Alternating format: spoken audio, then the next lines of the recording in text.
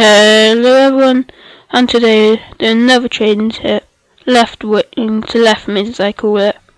We'll start off with Ashley Young plays Man United.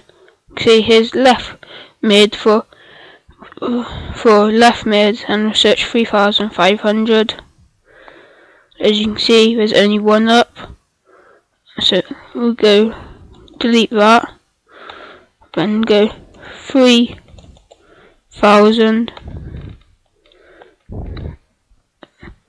and then we'll bid. On every everyone not in four two three one because that's not a left mid position. But three four one two is so we'll bid three thousand on everyone.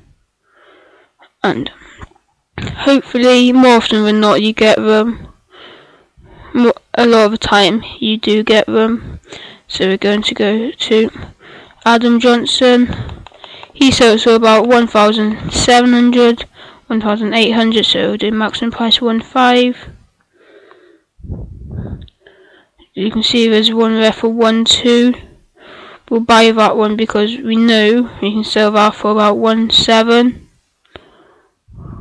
And then we list that up for 1.6.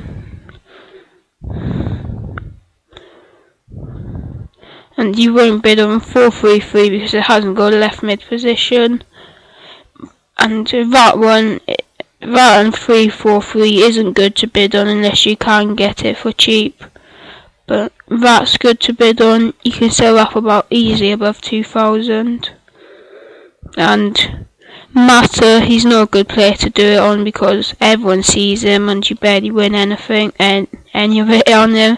So we go to Argentina. Serie A, uh, Napoli. He sells for about 2,200, so we'll do 1.8.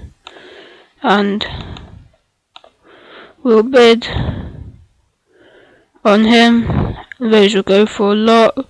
Being likely that we'll get them, but try anyway. Because he's in 4 and 2 and 2.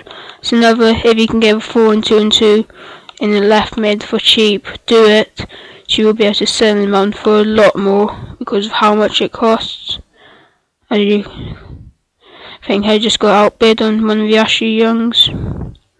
Yeah, and if it goes above 3-1, don't bother bidding on it again, unless it's uh, good. Unless it's good. So, thank you guys. Please like, subscribe, and comment on the section below. Bye.